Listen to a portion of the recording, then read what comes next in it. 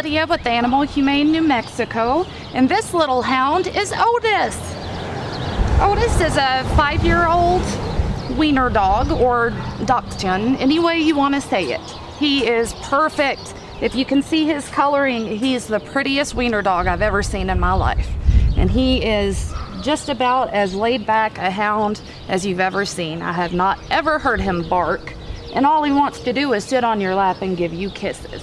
He's only five, and for a small dog, that's just that's just beginning. So he's going to be around a long time. He's very healthy, super shiny, great skin, just a real great dog. Totally portable and just wanting to please you. He seems like he's good with other dogs. I'm not sure about cats, but you can always try that out. Overall, he is perfect. Just perfect. You can obviously see that. Very loving.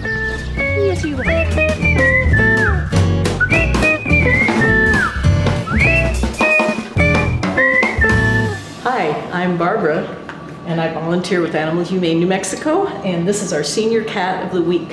Her name is Sweetie, she, because she fits that name perfectly. She loves to eat, but she's not heavy at all, and I think she just is enjoying her food. And she's uh, seven years old, and she is very friendly to people. She lets you brush her, and just super friendly to everyone.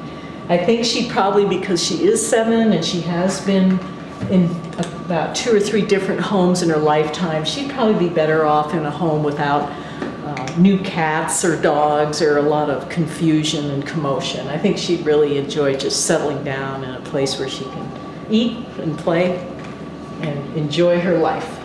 She's a really nice kitty. And hopefully she'll stop eating soon.